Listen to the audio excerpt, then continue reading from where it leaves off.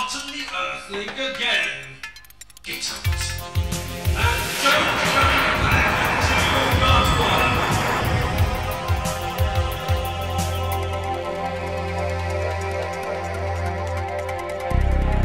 till